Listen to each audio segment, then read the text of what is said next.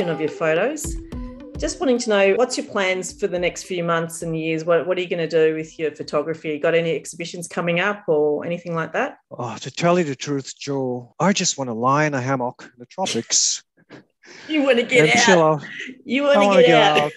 I want to chill out, eat coconuts, live like a tribe. Yeah. Uh, but I can't do that now. are you planning so- to go away? Oh, was it this year or next year? Would you want to go? Oh, this this year, next year. Next uh, year, but yeah, It's now now next year, de- depending on the situation. I've got a friend uh, who's invited me. I only met him in a plane once. Uh, Mhm. he was coming back to India from the States. Uh, I think his son was studying in the States, and he invited me to uh, Rajasthan. Wonderful place. He made a lot of movies there. And he's invited me to where he lives, Jaipur, and, and I'll What pick up movies? the offer. Is he a Bollywood Uh, actor or something? No, no, no, no, no, no, no, no, nothing like that. But he invited me for his son's wedding, and Yeah. I couldn't, I couldn't attend. That was a few years back, so I'll go, I'll go this time. You've done a lot of. We, we haven't even. We're going to have to have a part two as well because you haven't even done Mm. um, shown us your international photos. Yeah, we can do that. I don't have any plans here. I still work. Everybody has to work. Uh, Go to uh, work. Can't make make any money from, hobby. from photographs, and, and, and that's the reality. I'm, I'm working less now, Mhm. and I'm winding down at work. I like to work three days a week and have Mhm. four days a week. Yeah. do my own thing, which is do my own thing, which is really nothing. Uh, I I've just moved to uh, Prahran, uh, inner Mhm. city suburb, small little studio like a box, but uh, Yeah. I get to go out to the beach quite a bit, St Kilda, Albert Park, and that's where I do the outdoor gym, chill out and unwind. Uh, the mind has to be relaxed, and then you can think about what do you want to do. I still carry my camera everywhere I go, and sometimes I take pictures of ducks and swans. It's it's still nice to photograph something instead of photographing nothing at all. Some photographers are really strict with the genre, uh, precious. I'm a street photographer. That's all I shoot. I just photograph anything I see. If it interests Yeah. me, if it tickles me, if it makes me laugh a little bit, I photograph a, a cat, for example, stealing food. And I've got a few of those photographed in Indonesia. The street, lots of cats running around and jumping on tables and Mhm.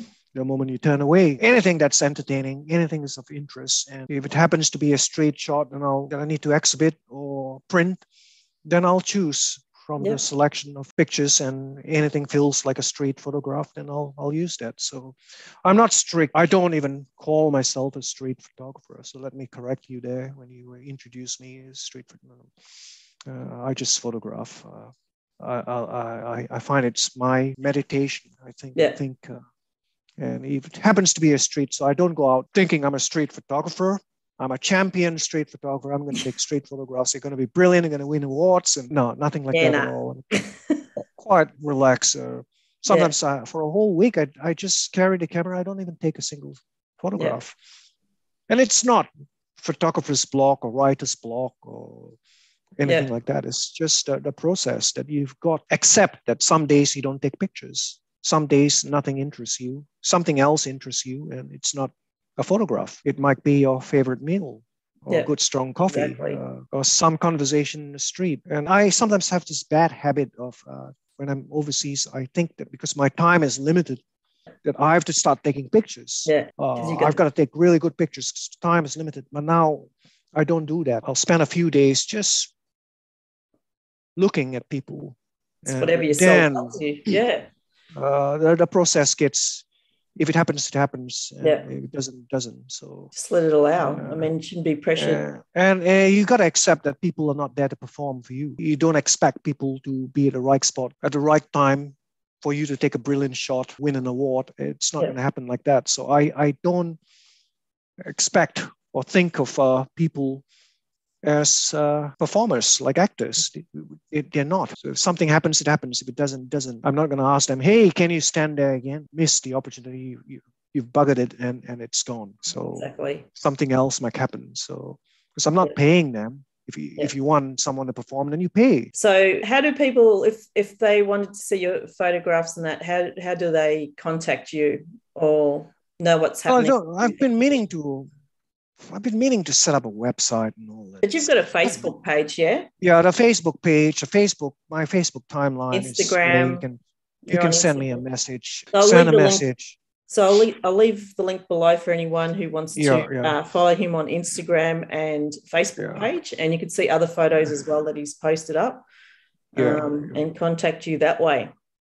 Yeah, yeah, that's the best way. I think it's very casual. You just send me a message and I'll name you the price. And that's it. It's all fair and framed, whatever. You can meet in the city for a coffee and I can bring Yeah. the picture along. And if you don't pay for it, I'll just smash it. Do you, do you still do um, pets, like photos for um, people's pets and stuff? Or I was I was getting into it. It's quite because it's uh, less pressure. I think I, I do yeah, ask you reckon pets? Uh, the, the doc the docs show the, docs Melbourne do it. Doc Show that they have it every year. I don't know what happens because of lockdown maybe. And yeah, yeah. The dog show would have been. Yeah, uh, the uh, the Dog Lovers uh, show. Yeah. I think it's uh, a lot of people mistook it that they, they, they could actually bring their own dogs to the show, but it's actually it's not for that. It's for all those people in the business Mhm. of uh, caring for dogs. Oh, so right. a dog grooming business hmm would set up stall there and they got to pay a lot of money there Yeah. as well to, to advertise the business Right. a dog grooming uh, a dog a pet photographer being Yeah. inside as well they would set up there they would have a few samples for their beautiful portraits of dogs Yeah. slobbering dogs and all that stuff make it into some kind of art form Uh, a dog spinning its head and all that slobber is going around in all directions and In slow mo. uh, some kind of a still shot, but with Yeah. all that. So they would advertise themselves there. So it's not for the public to just bring the dogs. Oh, Um, right. Okay. And, and I would uh, position myself outside the building because you've got to pay quite a lot of money to go in. Yeah. And Yeah. I don't mind paying if the lighting is good. Yeah. So the lighting there in, in the building itself is very dull light. So you Mm. can't take dogs are fidgeting all around. Yeah, You, yeah. you can't get you can't freeze motion. It's all blurry and all that. Mm. So I'd wait outside the gardens, and Mm. the people inside would bring the dogs out to do a poo. You know, they have to poo somewhere. yeah. Uh, Yeah. So, so they would bring the dogs outside. Then I'll ask her, "Say, that's a very handsome-looking dog." Uh, they'll be proud, and uh, it's just, "Can I take a picture or two? You know, like uh, of this dog." Taking a. Okay. well, I'll, I'll create something. Create content. I've never seen a dog that color. You know, uh, although you've seen the dog that color, I've never seen. Geez, I've never seen a dog with coat so smooth. You know, how what do you how do you how do you groom such a dog? How do you come up with such a, a specimen? So Yeah. uh, oh my gosh. so you you then you'd photograph, and I've taken quite a few pictures of dog, and you've done not in the act of pooping, you know, but uh, but after That they've could be a done this. Yeah. Oh my gosh. No, no, there's been a few good um, dog um, pictures that you've taken, pet pet owners and So- stuff like that. But they've got a character in themselves. But I No, think it's, it's, it's, tough it's gig. good fun. And it takes your, your mind away from strict rules and, and you have fun. If you get a shot, Mm. you get a shot. If you don't, you don't. And photography is about, for me at least, it's it's a fun thing. It's it's meditation. It Yeah. calms me. You have a laugh and, and you you look back and sometimes you've missed a shot. You think you've missed a shot and well, actually, if you've not missed a shot and you check back on your laptop and you have a yeah, I've not missed this. I've got the shot. Yeah. Uh, so and it's really rewarding when when that happens. Uh, it's Yeah. like a bonus. It's something you didn't expect and you got it. And even now, when I take a picture, I think it's rubbish. And then years later, I think, hey, that says something, doesn't it? So years later, it's all in the experience, uh, growth, uh, how your mindset is, evolves uh, in a few years. You think that something is rubbish now, is not so rubbishy later on Mm. or something that's brilliant now is rubbish later on. Like I look back at some of the pictures that I've exhibited. and say, Did I really do put up that rubbish? You know, jeez, I'll look more carefully this time. I'll be more circumspect. I'll be more, you know, like careful with uh, what I put up because uh, mud sticks. Yeah, yeah, know? but people grow from, you know, people and and I don't I didn't mind your early work, you know, with the seniors and stuff. I know you did a lot of photoshopping, you know, the ones with the the fish. That was stuff. just a that was just a But fun. I thing. loved it because you captured the fun.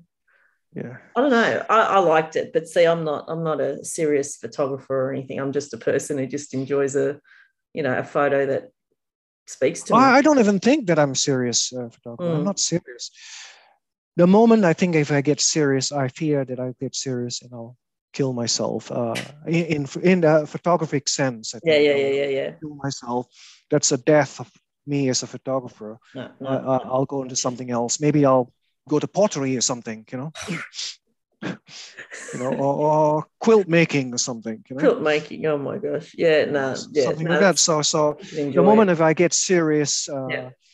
uh, too serious about it, like uh, it's got to be fun, and like quilt making, it's got to be a fun process. Yeah, you don't want to have a deadline. You don't want to. putting bits of ripped pieces of cloth and fabric together to make it into an art form, and I, I Yeah. suppose that's fun. It's a lot It of be um, fun. work. It's like you know when um, I used to enjoy cycling until Mm. I joined a marathon thing, and I hated it because you had to do so Yeah. many kilometers every weekend Mhm. to get your fitness. For me, I just thought, no, that's Yeah. too hard. I'd, I stopped enjoying riding a bicycle out Mm. of leisure. It's all about you know endurance and you know blah blah blah. And yeah, you know, definitely anything that Mhm. becomes a job or a chore, Mhm. I, I just lose interest really fast. So So, Same. so like I was saying, like the moment the uh, the quilt maker gets so serious in quilt making, you might end up with a chessboard.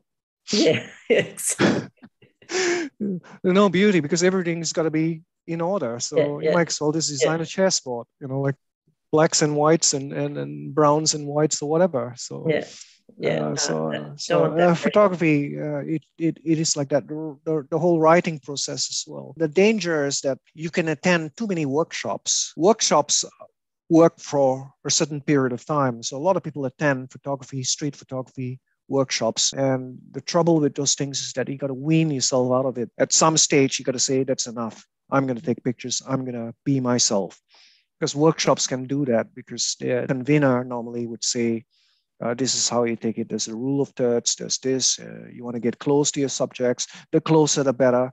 How close you want to get? You know, you get you're gonna get a nose print on your lens. You know, if you get too close. So uh, you gotta use this lens, uh, the one lens, the 35 mm in full frame and uh, 35 mm format.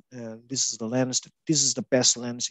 You can use a 200 mm zoom to get a straight picture. It's just gonna give you a different look.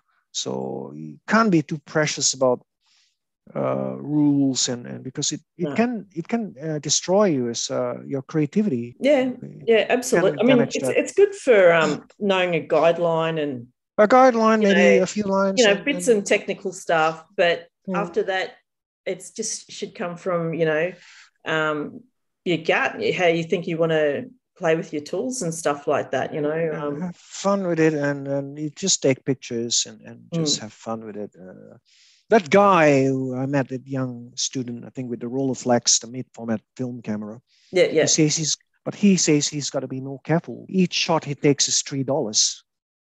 yeah. I was going to ask you how much is that? Three bucks a shot. Uh, if he takes a, he, so he has to be really careful.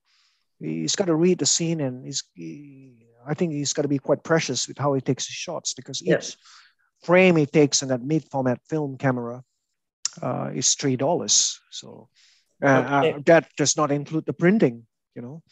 So if he's going to print it large, negative. Is it? Is it just the that's just negative? uh, that's the process, the negative. And, uh, uh, he has to take it to a shop because it doesn't do. But so who does that now? Is there any place? uh, there are a few people who still do it. Michaels is doing it. but Michaels don't do it because they they've closed shop. yeah, yeah. They they're still operating as online because they've they, they've Oh, they've right. got to finish their stock. They've got like six million dollars worth of stock. So you're going to have Uh, to send your film Yeah. somewhere, post it. Um, there are a few people that do it. There's some, like I said, there's this this Asian students, this Asian mob. They're really passionate, and they've actually opened a shop called Film Never Die, right. and they sell film cameras and they do the processing there. Uh, they are based city. in uh, they're based in Docklands, I think. oh, They were based in Bourke Street in the city, but they've Yeah. moved to uh, Dockland side, so they got a shop yeah. there. Yeah. And so a lot of the uh, the film people go there and process the film, but they're very few and far between. I suppose they have them in suburb suburbs somewhere, I don't know. It used to be in Uh, every corner. Remember the Fuji uh, film, they would- they would- Kodak they film would still- triple Uh, Um, but they're expensive now because they are only a few. It's niche, yeah, yeah, uh, but it's not dying. yeah, You see, because the students have come back in a big way. They yeah, love. I did ask him why why film. He says he just loves the organic process. yeah, He loves the uh, not knowing what is taken. yeah. It's so like has to be people who. It's like those who love the Super 8s. You know, you got that whole Yeah. club that loves the Super 8 Yeah. camera. I go, Yeah, you can get a Super 8 on your digital, you know, that vintage thing, but they say, oh, And and I'm, I remember that. I mean, the cameras were cheap, but the film was a fortune. Mm. Like, Yeah. And um, I thought, oh, geez, and and you know, and you could only get a small amount of film each time. And I thought, Mm.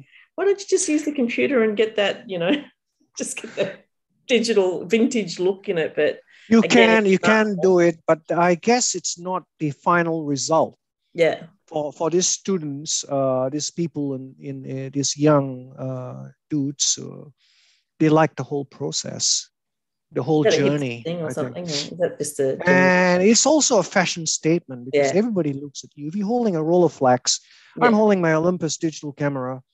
Nobody's going to look at it. You know, Yeah. nobody's going to. But if you hold a Rolleiflex, uh, Yeah. uh, uh, a, a hazy Hasselblad, one of those mid formats, you know, a Leica, even a Mm. film camera, everybody's going to look at it. Everybody's going to look at it. Jeez. And I look at it. So Fascinating. like a like a chick magnet. These boys. Yeah, yeah, that's that's what it is. I met a young young guy in a tram. Uh, he was just in his twenties. I, I hooked up with him on Instagram, and he's really passionate. And he's with his girlfriend, and he was showing her how to take. And they were both holding film cameras. He's got an old Contax Contax camera, heavy Yeah. heavy beast of a camera, small little compact. It Mm. was built like a tank, and he was Mm. uh, really proud of it. He was taking pictures with it, and his uh, girlfriend had a film camera. He's giving her some tips, of depth of field and stuff like that, focal length, and all those things. And I had a conversation with him, and I, what I admired about him was his passion. He's Yeah. quite a creative guy. Was doing some videos and stuff like that. But he just like he was 20 years old. I met a guy in a tram with a video, all video camera, Yeah. and he had cassette, a cassette player. Wow. He had a cassette player. This is only a few years back, and cassettes have all died. They've been replaced by CDs. Yeah, yeah.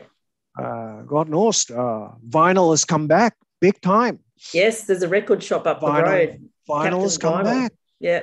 Uh, people just like the big package with the whole book, the sleeves, and the smell of that that that wax paper inside. You slide out the whole vinyl, and Sleeve. and you have to polish it before you play. yeah. Put a needle on it, and you can decide what song you want to play. Pink Floyd's. Uh, Yeah. comfortably numb or, or something or some jazz uh, Yeah. uh, miles davis and kind of blue fantastic stuff that organic Cool that analog that analog uh, sound they, they like and same You were- you were- You used to complain about that. You used to you you were convinced that the vinyl had a better sound than than the um CD. oh it, it does in many ways is because uh, what they got in fact i had this conversation with someone who's an audiophile Yeah. and audio audiophiles are very Yeah, precious yeah. their sound and Precious. have got this listening room that you can't stand you got to sit in a certain position and you can't cross your legs and all that because it messes the acoustics and and and and and this guy was saying actually the, the when they produce cds uh, they decided that some of the frequencies that you can't hear the human he- ear can't hear Mhm. why just get rid of that Yeah. So they got rid of the things that we can't hear. The Yeah, yeah. highest and the lowest, they got rid of that. There's Yeah. no point having all that. Uh, so when you listen to CDs, it's uh, Flat. I think the people who listen to vinyls, uh, no, I, I mean I, I can't tell. I listen to the CDs. It sounds Yeah. great. You got nice bass. You got good speakers, good amp, nice, warm. And these days you uh, you get all this analog tapes from the original tapes being digitally remastered anyway. Yeah. So Yeah. you get an old CD from the 60s and, Yeah, and, yeah. uh, uh, uh, from tape, in fact, Yeah. Yeah. Tape. not even vinyl. Yeah. And they do a digital remaster, they clean up all the sounds and great. But apparently, there's some this this audiophile that said to me, uh, he's a human being, by the way, he's a person, not a robot. And, and he said that uh, you do not just hear music, you feel it.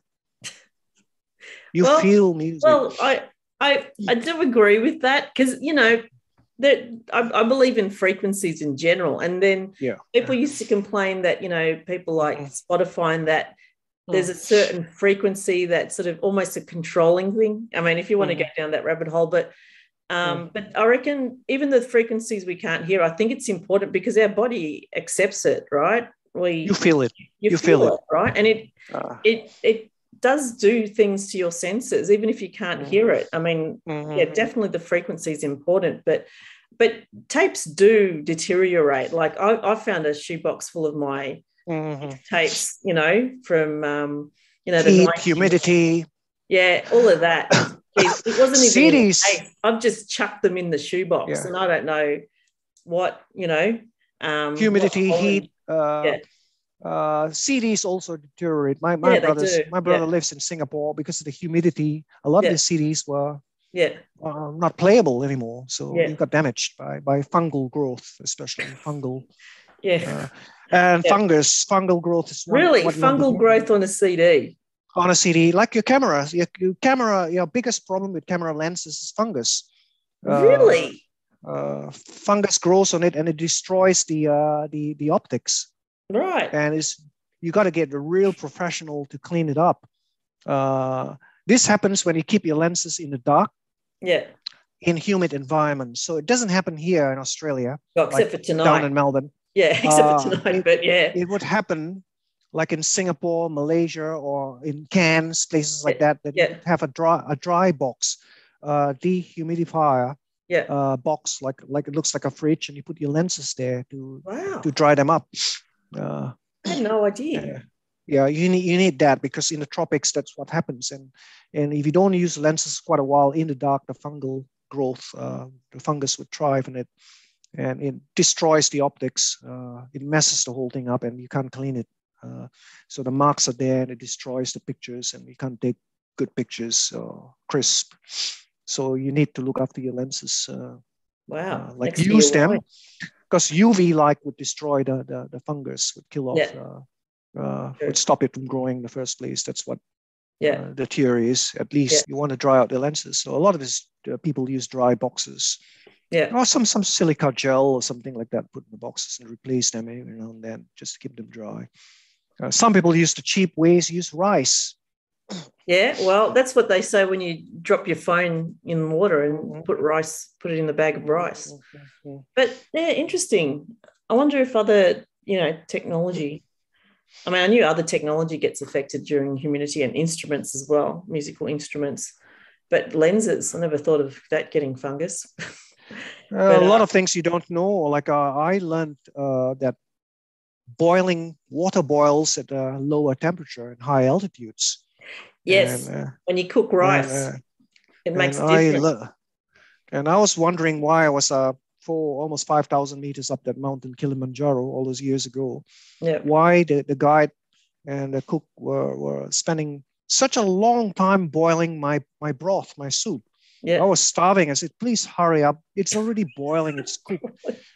Uh, but no, they had to boil it because it's a lower temperature. You have to Yeah. boil it for a lot longer to kill the, the, the bacteria, Right. uh, whatever whatever parasites were in it. So they had to kill it off, and so you got to Yeah. boil it for a longer duration. Uh, It's Uh, like um yeah, when I was in um Cusco and um I remember you know, I was, I was staying at my friend's house and I said, Oh, I'll do the rice, I'll, I'll cook the rice for you. And Mhm. she's Joe, it's different. No, no, no. It's a, oh, what the grain of rice. Yeah, I'll just use that Mhm. finger method. You know, yep, no, evaporate. yeah. And I completely stuffed up the rice because again, Mhm. it's different altitude. And she kept Mhm. on telling me, but I didn't believe her. Like, ah, that's full of Mm. shit. But I, I never realized that yeah, um, the whole boiling and everything at a certain um, altitude is completely different. So Mhm. learned that lesson. But um, yeah, anyway, we've got So to. that, that would kill off. Interesting things you learn. So so in journey as a photographer, you learn things as you move along. Always be the student. I'm always a student, never the expert.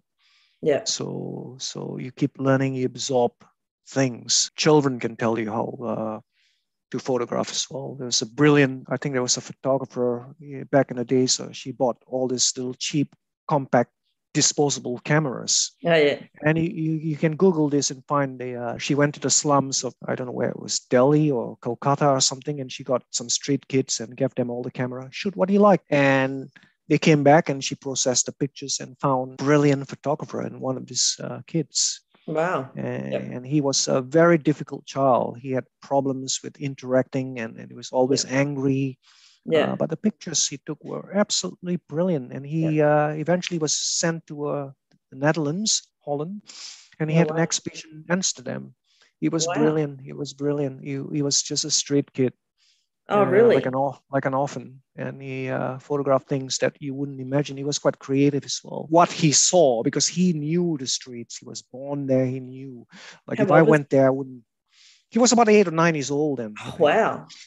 uh, he, he was quite difficult. One of the more difficult children that she had to deal with. She was always throwing a tantrum. He was angry, I think. Uh, uh, but when he when he took pictures, he was as calm and collected. Mm, He, he, he, he's just zoned out into a different person altogether. yeah. And, and, and she saw something in him and then uh, and he ended up in having this big exhibition, all these pictures. Wow. I hope she um the money they've got hopefully went back to him for his future as well. Oh, she was all for him, in fact. Yeah, okay. Uh, she wasn't for herself because she, Yeah. she wasn't, uh, uh, I suppose, a great photo- photographer herself, but she Mm. thought it would be fun to see what Kids the would say. children would see. Mm, She was more interested in what they saw, not in what she was Yeah, going to see.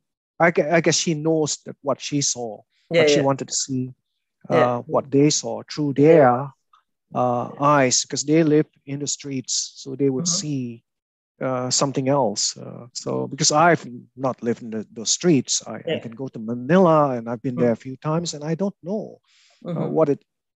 You go there for a month or two, and you say you've lived there. No, that's not true. So That's where not was enough. kid from? From India or Manila? India, India, India. Okay. Yeah, yeah. India, India. Yeah. No, So well. you can you can check it. I, I tried googling it and I, I found him actually, but I've lost Yeah. the uh, link. I'll send you the link and Yeah, yeah. I'll, I'll um put it in the you'll, um you'll see it. um, and he was uh, he was uh, quite stunning one. the way the way he was seeing things uh, mm, through those eyes of a young person that was quite wise, in fact, yeah. uh, because he was experienced uh, in that life. huh? He lives it. Yeah, he's in it. Lives it. Uh, so so Wow. Yes. Uh, Wow. they're amazing. So you could learn from what uh, a- much younger person would see because they, they, they've got no, they've Filters. not They got no uh, filters. uh, learned things and have all Mm. these uh, rules and, and like Yeah. you say, filters, Yeah. what you're supposed to do, what you're not supposed to do, and stuff Yeah. like that. So quite spontaneous and uh, Mm, and and they would. Uh, so I'd like to imagine that I'll never grow up in many ways as as a photographer. I would remain with those eyes. yeah. Uh, and you got to have a lot of heart as well. Yeah. You have to. Uh, uh, you got to understand where people are coming from, uh, Mhm. and at least sit down and listen. Do a lot of listening and not talking over people when you listen to stories, because the listening part is very important. You would learn a lot. No matter how wrong you feel they, they are, it's still valid. Tough call, but yeah, I understand. Yeah, yeah, yeah. It's Yeah. uh, it's in it's not- times, not yes, any- 100%. You know. That's- Um. that's real listening because I had this conversation with a friend and he's uh, Mr. Knowledgeable. He reads a lot. He reads a lot of books, politics and stuff like that. And and I told him the uh, thing about listening is to uh, uh, when when someone is speaking and you if while that person is speaking you're already forming a counter argument in your head, you're not listening Yep. uh, because you're already forming a counter argument. Uh, and that's what we all do. Yeah. I do it all the time. So the art of listening is to absorb and validate everything that the person is Mm. saying, no matter how wrong you feel it is. And you shouldn't even feel it's wrong. You should just absorb it. That's all valid. That's Take it all in. Uh, that's easy. one of the very It's not easy. very hard. One of the hardest things to do, and I would sit down and listen. And by doing that, in fact, it's quite, Mm. it really opens your eyes Mm, to see another point of view. Hey, I didn't think about it. And that's why I like stepping back when when uh, when when my pictures on exhibit, like the, the recent one, I would step back and just listen. And I would not argue with them. I don't I don't correct them. I don't no, that's what it actually is. No, no, I don't bother to say it. This is what you feel, and that's valid. yeah. That's valid. Uh, if you don't like it, you don't like it. If you think it's rubbish, uh, I would That's tell them why. Uh, why do I I would ask them why? Why do you think it's rubbish? Uh, but not in a defensive way. yeah. I would just ask them why do you think it's rubbish, and and they say I don't know. I just think it's rubbish. But I, I- don't know. But just is it good rubbish? Is it bad rubbish? You know, I would just try to get something out of. Uh, That's pretty tough skin of you, Ben. Really, because I'd I'd be like mm. hiding under a rock if people were looking at my work. I mean, you know, I'd be like, because you know, especially if you like like you did mention that you didn't um you don't get attached too much. No, no. Yeah. And all responses, in fact, if you uh, provoke a response, is a mm. good response. It's yeah. something good even if it's a, a one that you don't agree with, rather than having a silent crowd. Imagine if you read out your poem yeah. and everyone's just silent, and nobody responds. I would rather have people chucking tomatoes and, and yeah. Yeah. cans of baked beans, you know, like uh, get tomatoes before the baked beans. You know, so so I would rather have that. That is a response. Yeah, true, true. Uh, I was once in a writer's class and and uh, somebody wrote something which was really uh, uh, chauvinistic. It was uh, mm. Misogynistic, and, and mm. it was just rotten. It was belittling women and stuff like that. Yeah. But that was the point of view. He was writing a fictional character who thought like that, yeah. and everyone just attacked him. All this, uh, uh, you know, women's rights movements. Yeah. They attacked him, and and he was so upset. And the teacher actually says, "Calm down. It is a response." You've mm-hmm. all responded to it, and that's good. The writing mm-hmm. has worked. It's a response. You've all responded to it. You didn't agree with it, but that's how art is sometimes not pleasing. It doesn't have to please you. You don't walk out of a gallery with a smile all the time. You might some things might offend you, depending on your upbringing and your values yeah. and stuff like that. And, and you might get offended. We can get offended wherever, whenever, everything. If I want to be offended, I can be offended. You know, like, uh, it doesn't take much to be offended nowadays. No, no, you can be offended. Uh, your music is rubbish. Yeah. Nah, so. nah. Like, um, speaking of responses from a gallery, I, I remember getting out of Guggenheim mm. and mm. I had the worst headache because. And I felt really dumb because I thought mm. this modern art stuff, they're, they're, doing my head in. They're so, you know, you, you assume, oh, they're so brilliant and they're so mm-hmm. gifted. And then, but you just don't get their artwork. And you, it's like the emperor's new clothes. You're just too afraid to say mm-hmm. that's crap. And, but I didn't want to sound ignorant, you know, mm-hmm. that I'm not educated enough. But yeah, so I ended up because I was so conflicted about the artwork. I, woke, I walked out with a massive headache because mm-hmm. of I know what it, I knew what it for me it was, and I just didn't like it. But I I felt like I had to like it because it was mm. Guggenheim, mm. right? So um, anyway, but that was just a that was just another um, what do you call it reaction to artwork. You know, where you, people you can be like it. You know, you can be a real connoisseur and talk a whole fifty pages about a a wine Mm. You know, so I don't have that knowledge in wine, but I would still listen. I don't have a passion in wine, but I would still mm. listen to people talking yeah. and just listen. It may sound like nonsense and, uh, you know, like a, still nice to listen yeah. uh, to people talking. I'll tell you this uh, about the art, and I think why this happens sometimes. Uh, teachers uh, can do wrong sometimes by not listening because they are knowledgeable and they think that they've got to be didactic, uh, just teach, part and knowledge, and you you listen. Asia, Singapore, it's very much like that. Those years before, I think it's much better now that people are being taught to uh, think critically. I did witness something in a gallery once uh, in the National Gallery of Singapore. My brother brought me there, and I noticed some year 12 equivalent uh, students, smart with spectacles, with long white pants and shirts and ties. They were in their last years of maybe sixth form before they would go into uni yeah. university. So the teacher was there and asking them. There were five of them, one uh, I think girl and uh, two girls and three boys or something like that, as I remember. And the teacher asked them to describe this particular piece of art, what it meant. And each uh, student took their turn and in halting words and like as if they feared something, they would say something wrong. They, they said what it meant, you know, like that. And after all of them took their turns and the teacher said, no, actually, this is what it actually means. Mm. And uh, geez, I said, I almost wanted to take the picture on the wall and s- smash it in the head. You know? mm. Why bother asking them for the opinions when at the end of it, you're going to devalue them, uh, invalidate all they've said by saying what it actually means? That's a piece of art. You can read it any way you want to based on your experience. You know, they were spending a lot of time nervously trying to get the words out to describe the painting. And none of them were wrong. None of them were wrong because I was listening. So, so why would you do that? Just killed off their dreams. It's nasty. When I saw it, I got angry. Can't help myself but to get angry because I was enjoying listening to them. Yeah. Uh, I may have felt that maybe some of them were saying not describing things right or something, but there's no right or wrong because I didn't want to judge them uh, who, who, am I anyway? I'm not an artist. Yeah, yeah, yeah. Like I could understand if the teacher would be talking about the artists themselves, the mm. and what they've read, why the artist yes, yes, yes. way, and the, maybe the models in it. Like I remember one time uh, was this. Oh God, you know, the, you know, they would point out, oh, you know, if anything, oh, what do you see in this corner? Do you think mm. it's the same artist, or do you think it's their apprentice? Or yeah, yeah that, that's brushwork, you know, stuff like that. You know, that's a good mm-hmm. teacher.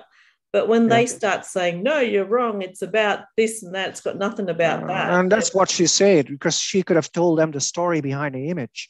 Yeah, she could have uh, just said the story. what the artist then, is going through, and and this mm. is what the artist came up with. Yeah. What do you uh, think? Or what do you think the artist is going uh, through? Yeah. yeah. And ask them to critically think what could have mm. been? What could the artist have been uh, going through? Hunger, poverty, where the artist lived, for example. What was the artist painting for? And, and all this motivations and stuff like that. You can yeah. raise a lot of things, history and stuff like that. Uh, none of that is accurate to 100% because you were not mm. there.